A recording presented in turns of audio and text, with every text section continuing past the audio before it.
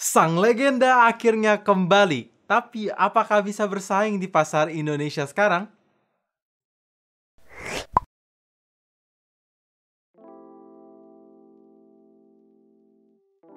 So guys, welcome back to Updated Alien Channel. Nama gue Greg dan yes, sang legenda resmi di Indonesia yaitu Nokia 5.4.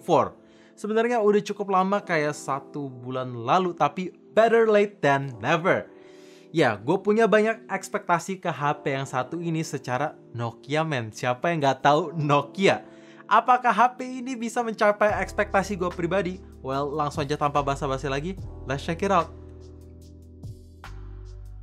Ketika kita udah ngomongin smartphone besutan Nokia, hal pertama yang paling menarik perhatian gue ada di bagian software. Kenapa? Karena ada dua alasan. Pertama, tampilan antar muka yang dipakai itu pure Android atau stock Android. Jadi tidak banyak customization, simple, minimalis, dan easy to use. Ya, gue yakin buat kalian yang baru pertama kali mau migrate ke dunia smartphone, dengan tampilan antar muka yang satu ini bakalan cepet banget beradaptasi. Apalagi dalam segi hardware dan software optimizationnya juga bagus. Smooth banget, jarang ngerasa nge-lag, pokoknya aman dan lancar. Kedua, lifespan. Nokia bisa menjanjikan dua kali major software update yang bikin HP terus ter-up-to-date kayak channel ini dan untuk security patch sampai 3 tahun untuk memberikan proteksi yang lebih aman secara software. Jadi memang kalau ngomongin software, Nokia itu emang terbaik sih. Ketika kita ngomongin desain dari HP Nokia, mereka tuh tidak membawa desain yang paling baru, tapi somehow selalu terlihat unik dan pokoknya Nokia banget, termasuk HP yang satu ini. Dimulai dari kameranya yang berbentuk oval dan bentuknya tidak terlalu besar sehingga terlihat minimalis, penempatan logo Nokia yang pas gak terlalu kebesaran juga, campur warna polar night blue, finishing kaca asli dan diagonal stripe looks bikin HP ini tuh terlihat elegan ketika kena pantulan cahaya seperti yang bisa kalian lihat. Lanjut untuk feels, memang belum menggunakan body ratio 20 banding 9 kekinian masih di 19,5 banding 9 tapi menurut gua udah oke okay karena pinggir kiri kanan sudah dibuat 2.5D dan beratnya hanya 181 gram jadi cukup enteng untuk digunakan pakai satu tangan Chipset HP ini menggunakan Qualcomm Snapdragon 662 dengan sistem fabrikasi 11 nanometer dan untuk Antutunya bisa hit di angka 210 ribuan. Gue udah ngetesin main game PUBG, dapet settingan grafik di smooth dengan opsi frame rate tertinggi mentok di high yang konsistensi FPS-nya udah bagus. Lock bisa di angka 27 sampai 30 FPS. Untuk suhu ketika dimainin pakai full cellular data, tertinggi mentok di 44 derajat yang menurut gue masih tergolong wajar, mengingat gue main pakai full cellular data. Untuk gyro, lancar jadi tidak ada kendala. Dan game kedua yang gue coba adalah Mobile Legend Bang Bang. Settingannya bisa dapat di HD on, shadow on, high frame rate on, dan grafik mentok tertinggi di high. So far untuk Mobile Legend ini dilibas abis. Mau push rank berjam-jam, berapa match kalipun tetap bisa bagus. Konsistensi FPS-nya lancar, hanya aja untuk suhu mulai meningkat. Tertinggi ketika dimainin pakai full cellular data bisa di 44 derajat. Intinya memang HP ini bukan chipset terngebut di harga segini, tapi ketika mau dipakai main game-game zaman sekarang masih cukup oke okay kok HP ini punya kapasitas baterai yang memang bukan paling besar untuk tahun 2020 dan 2021 masih di 4000 mAh aja. Setelah gue pakai dengan pemakaian yang intens kayak scrolling Instagram berjam-jam, nonton YouTube berjam-jam, dan main PUBG berjam-jam, semuanya menggunakan full cellular data, brightness di set setengah, bisa dapat screen on time sampai 9 jam 30 menit dengan standby nyentuh satu hari 8 jam dalam sekali ngecharge. Jadi menurut gua ini awet berkat. Lagi-lagi softwarenya menggunakan pure Android yang enteng dan resolusi layar di HD+. Jadi power consumption-nya itu lebih rendah. Kamera belakang di HP ini membawa setup quad kamera dengan konfigurasi primary lens menggunakan resolusi 48 megapiksel dengan bukaan cahaya f1.8. Ada lagi 5 megapiksel ultra angle, 2 megapiksel depth sensor, dan terakhir ada 2 megapiksel macro lens untuk hasil foto di kondisi daylight overall ini bisa mencapai ekspektasi gue. Karena warna yang ditangkap ini mendekati natural, detailnya tajam, komposisi shadow highlightnya juga bagus, dan dynamic range-nya oke walaupun masih bisa diimprove lagi lewat next software update. Dan kalau kita ngomongin hasil foto di kondisi low light, karena bukaan cahaya secara angka udah kecil, otomatis cahaya yang ditangkap itu bisa terang untuk menghasilkan objek yang lebih detail. Hanya aja satu isu yang gue alami ketika mau foto di kondisi kurang cahaya dan close object, autofokusnya susah banget untuk difokusin. Mesti pakai manual fokus baru bisa detailnya tajam. Lanjut untuk night mode. Gunanya ketika kalian mau foto kondisi yang benar-benar nyaris gak ada cahaya, ya fitur ini bisa ngebantu untuk ngangkat detail yang lebih tajam dan cahaya yang lebih tajam. Terakhir, ada satu fitur yang gue suka. Watermarknya bisa kalian custom sesuai preferensi. Jarang banget buat nemuin HP yang watermarknya bisa kita custom. Nice sih. Lanjut untuk kamera depan, HP ini punya resolusi 16 megapiksel dengan bukaan cahaya f2.0. Jadi kalau misalkan kalian mau selfie di tempat gelap, ya kaliannya masih kelihatan dengan detail yang cukup tajam.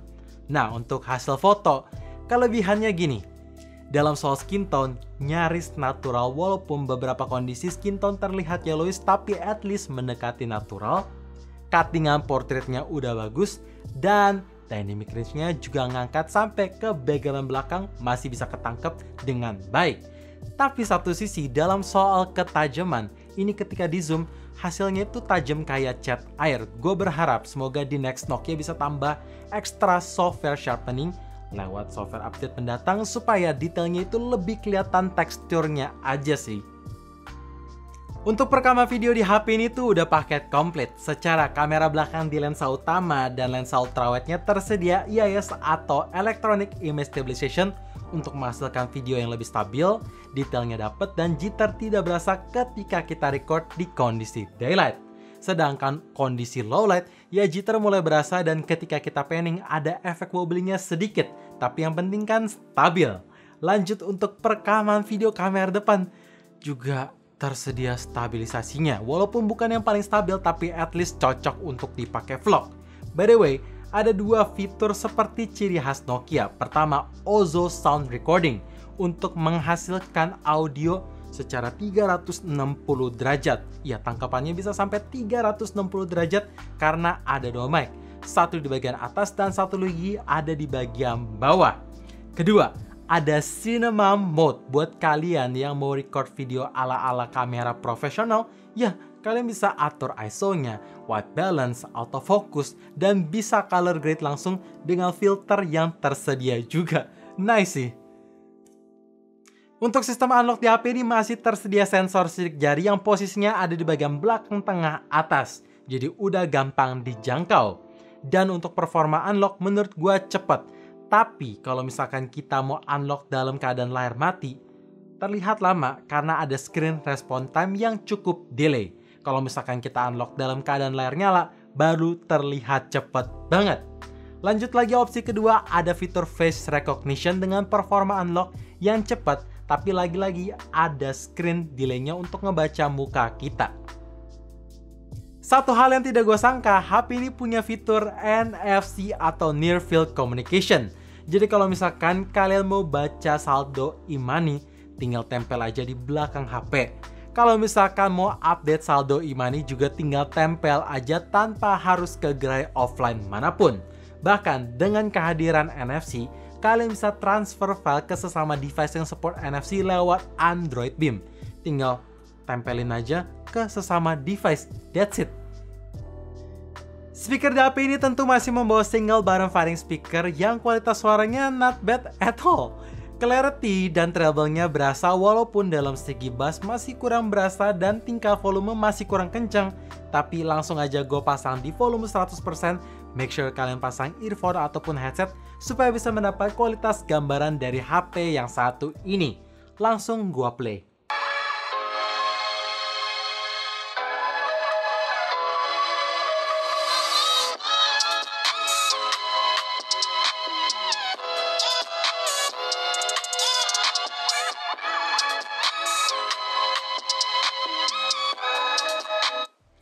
Ya, kayak gitu. Kalau dirasa kurang immersive, tenang, port jack 3.5 masih ada. Posisinya ada di bagian kanan atas.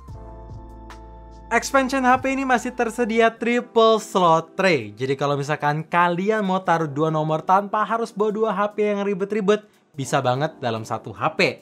Dan kalau dirasa internal memori 64 GB-nya kurang cukup, pastinya ya kurang cukup ya dalam pemakaian gua. Tenang, masih bisa di-upgrade menggunakan microSD sampai 512 GB. Jadi bebas upgrade. Ada dua fitur menarik seperti ciri khas HP Nokia. Pertama, HP ini masih punya aplikasi radio FM. Jadi buat kalian yang mau dengerin radio di channel-channel kesukaan kalian, ya masih bisa tanpa harus beli radio tambahan. Tinggal colokin headset aja. By the way, headsetnya juga udah di-include di dalam box pembelian. Kedua, tombol dedicated Google Assistant tersedia di pinggir kiri. Jadi kalau misalkan kalian mau request apa pun, ya tinggal pencet aja tanpa harus say comment. Enak kan ya, ada dedicated button. So guys, itu dia kelebihan-kelebihan yang ada di Nokia 5.4. Kalian udah lihat sendiri. Dan sekarang gue juga mau kasih tunjuk apa yang masih kurang dan mungkin di next bisa diimprove karena tidak ada smartphone yang sempurna. Langsung kita bahas kekurangannya. Desain HP ini memang terlihat unik, tapi untuk build quality-nya tidak seperti Nokia yang gue kenal. Karena kalau gue tekan di bagian frame-nya, terasa ringkih dan ada sedikit bunyi. Tapi ya hitungannya masih solid sih. Jadi kalau ditanya apakah HP ini kuat ketika ngadepin jatuh atau benturan, harusnya aman-aman aja karena berdasarkan pengalaman gue pakai HP Nokia yaitu Nokia 62, 5.1 itu nggak sengaja jatuh tapi masih aman-aman aja sih. Cuman ya, ya agak sedikit ringkih aja. Sayang banget ada HP keluaran terbaru sistem chargingnya itu belum support 18 watt fast charging masih di regular 10 watt aja sesuai brick charger yang dikasih. Jadi gue coba ngecharge dari angka 5 sampai 100% di HP ini masih takes time karena makan waktu 2 jam 34 menit. Secara kapasitas baterai yang dipakai kan 4000 mAh aja. Jadi gue berharap semoga di next Nokia bisa kasih support sampai 18 watt fast charging atau lebih tinggi lebih baik sehingga bisa lebih hemat waktu ketika kita mau ngecharge. By the way, untuk part charger sudah pakai Type-C ya. HP ini punya ukuran layar di 6,39 inch, panel IPS LCD, resolusi HD+, dan maximal brightness support di 400 nits yang udah cukup terang. Secara desain, udah terlihat kekinian karena desain ini pakai menggunakan single punch hole yang posisi notch-nya itu ada di bagian pojok kiri atas dengan bezel yang keseluruhan udah cukup tipis. Secara experience, kualitas layarnya ini punya warna yang bagus dan untuk maximal brightness ya tadi support di 400 nits jadi udah aman. Tapi alasan gue kenapa masukin kekurangan karena resolusi layarnya masih menggunakan HD+. Jadi kurang tajam ketika kita liatin layarnya secara dekat dan tentu refreshernya belum menggunakan 90Hz. Jadi gue berharap semoga di next Nokia bisa membawa teknologi kekinian yaitu higher refresh rate beserta kualitas layar yang lebih tajam sehingga lebih nyaman aja untuk digunain setiap harinya. By the way, untuk layarnya udah ada free screen protector bawaan ya. Untuk hasil foto di lensa ultrawide kamera belakang HP ini masih perlu banyak improvement. Karena dalam segi detail ini tajamnya memang karena resolusinya 5 megapiksel jadi terlihat kayak cat air ketika di zoom. Dynamic range-nya oke, okay, tapi ketika kita foto menghadap matahari akan berasa noise dan grain. Terus shadow highlight ini tangkap kurang bagus dan dalam segi warna pun tidak natural. Jadi gue berharap semoga di next Nokia bisa mengupdate atau mengoptimize lensa ultrawide biar hasil foto sama primary lens itu tidak terlihat jauh bedanya. Dan gue berharap juga semoga lensa ultrawide bisa ada fitur night mode-nya juga atau mode night mode bisa jalan di lensa ultrawide-nya juga. So guys, itu dia video review Nokia 5.4 versi channel up to date IDN. Jadi, apakah HP ini bagus? Ya, bagus. Tapi kalau ditanya apakah HP ini worth it untuk dibeli? menurut gue pribadi kalau aja harga HP ini dibanderol seharga 2,5 juta bakalan worth it karena sama-sama kita tahu pasar Indonesia sekarang menilai berdasarkan harga juga dan ada perbandingannya maka muncullah kaum mendang mending Jadi saran gua, kalau misalkan kalian cari lifespan yang panjang dan simplicity, jelas Nokia bisa deliver itu semua. Pokoknya user experience gak bakalan bohong, bikin betah. Tapi kalau misalkan kalian butuh fitur kekinian, ya jelas ini bukan untuk kalian. Sesimpel itu aja. So thank you for watching, jangan lupa like dan subscribe channel ini sekaligus nyalain notifikasinya juga supaya kalian tahu kapan video baru diupload and as always, stay safe, stay healthy dan stay updated with up to date.